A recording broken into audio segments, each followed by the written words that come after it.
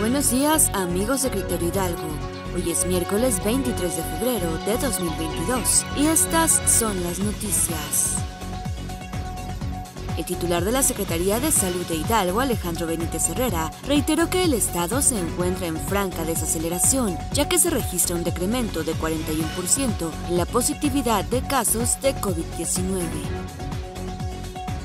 Javier Zavala Ramírez, presidente de la Asociación de Bares y Cantinas de Pachuca, aseguró que buscarán que la calle Nicolás Romero del centro de la capital sea peatonal en un horario y día determinado, debido a que en dicha vía se encuentran seis negocios del sector y consideran que podrían incrementar sus ventas.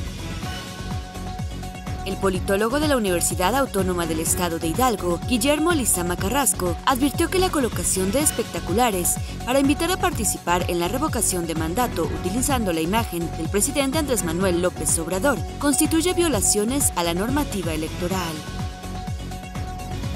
La incidencia delictiva en Hidalgo aumentó 54.4% durante enero, en comparación con el mismo mes del año pasado. Entre los delitos que incrementaron están los homicidios dolosos, de acuerdo con datos del Secretariado Ejecutivo del Sistema Nacional de Seguridad Pública.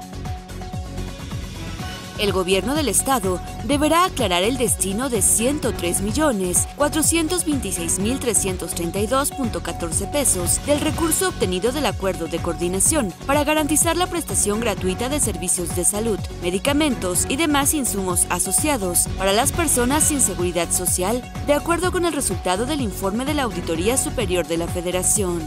Los invitamos a seguir a Criterio Hidalgo en las redes sociales y recuerden reforzar y mantener todas las medidas de bioseguridad. Suscríbete a nuestro canal de YouTube para que estés al día de las noticias de forma rápida y oportuna.